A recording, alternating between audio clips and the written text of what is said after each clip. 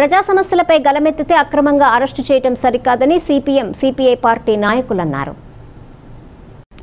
రాజన్న సిరిసిల్ల జిల్లా CPM party కార్యాలయంలో CPM CPI ఆధ్వర్యంలో పార్టీ సమావేశం నిర్వహించారు.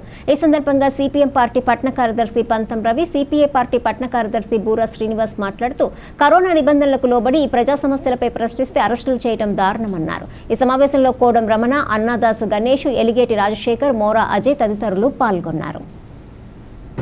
ఆఫీసుల్లో కూడా పోలీసులు చొర- చొరబడి ఒక వామపక్ష పార్టీలకు ఇక్కడ ఉన్న వాళ్ళకే ఆ నిబంధనలు వర్తించవు.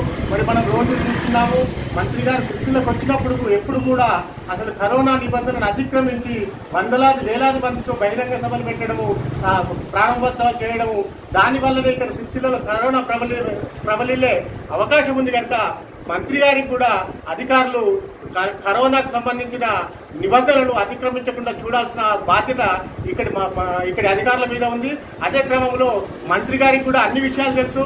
ఇక్కడ కరోనా భీమండి నుండి మహారాష్ట్ర నుండి ఇతరత్ర గుజరాత్ లాంటి రాష్ట్రాల నుండి ఇక్కడ సంబంధాలున్నాయి మరి ఆ సంబంధాలను కూడా జాగ్రత్తగా హోమ్ క్వారంటైన్ నుంచి ఇక్కడ కరోనా ప్రబలిల్లకుండా చూడాల్సిన బాధ్యత కూడా గౌరవ మంత్రి వర్యుల మీద ఉందని మేము ఈ సందర్భంగా తెలియజేస్తా ఉన్నాం.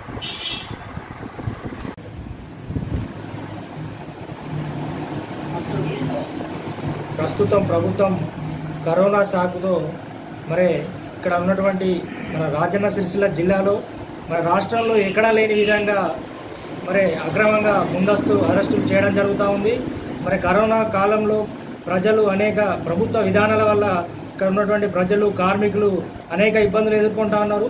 ఆ సమస్యలపై మన వామపక్ష పార్టీలుగా కార్మిక సంఘాలుగా మేము ఆందోళన కార్యక్రమాలు నిరసన కార్యక్రమాలు జిల్లా పర్యటనకు వచ్చిన సందర్భంగా ప్రతిసారి కూడా వందల మంది వేల మందితో ఇక్కడ మరి ప్రారంభోత్సవ వేడుకలు చేయడం జరుగుతూ ఉంది మేము అడుగుతా ఉన్నాము ఈ ప్రారంభోత్సవాల వల్ల మరి కరోనా సా సోకే అవకాశం ఉంది. మరి ఒక మా వామపక్ష పార్టీలు కానీ ప్రతిపక్ష పార్టీలని ఎందుకు అట్లా టార్గెట్ చేస్తున్నారని చెప్పి మేము ప్రశ్నిస్తూ ఉన్నాము.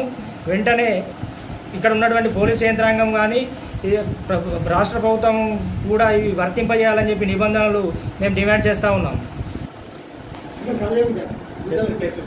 చూసుకుంటైతే ఒక పక్క కరోనా దేశవ్యాప్తంగా ఈ సమస్య ఉంది ఇకపోతే ఈ కరోనాను ఆరోగ్యశ్రీలో చేర్చాలని అలాగే పెట్రోల్ డీజిల్ ధరలు దించాలని అలాగే ఈ కరెంటు ఛార్జీలు విపరీతం పెంచడం జరిగింది కాబట్టి దీన్ని దించాలని చెప్పి వామపక్ష పార్టీగా మేమందరం ధర్నాలు చేస్తుంటే ఈరోజు సిపిఐ పార్టీ ఆఫీస్కి వచ్చి పోలీసు వాళ్ళు అరెస్టు చేయడం అనేది చాలా సిగ్గుసేటు ఎందుకంటే ఇక్కడ స్థానికంగా ఉన్న కేటీఆర్ గారు ఏ జిల్లా లేదు కానీ రాజన్న సిరిసిల్ల జిల్లాలో ప్రజల గురించి పోరాటం చేసే వామపక్ష పార్టీలే కనబడుతున్నాయని చెప్పి ఈ ద- పత్రిక ముఖంగా ప్రెస్ మీడియా పక్షంగా మేము మంత్రి గారిని మరి ఉన్న ప్రజాప్రతినిధులందరినీ మేము ఒక రకంగా చెప్పాలంటే మేమా రోడ్ ఎక్కి మాట్లాడుతుంది వాళ్ళ సాటుకుని మాట్లాడుతుంది అర్థం చేసుకోవాలని చెప్తున్నాం.